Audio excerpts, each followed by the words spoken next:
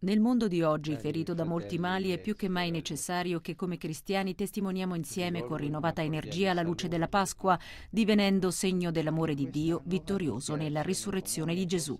Così Papa Francesco incontrando una delegazione del Consiglio Metodista Mondiale.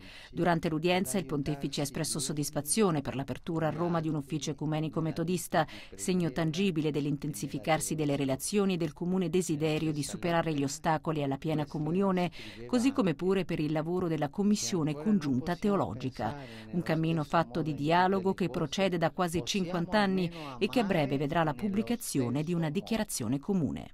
È vero che non pensiamo ancora nello stesso modo in tutte le cose e che su questioni relative ai ministeri ordinati e all'etica molto lavoro rimane da fare.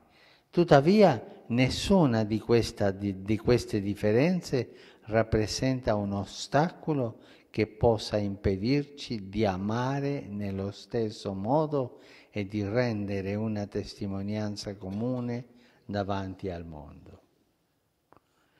La nostra vita nella santità deve sempre comprendere un servizio di amore al mondo.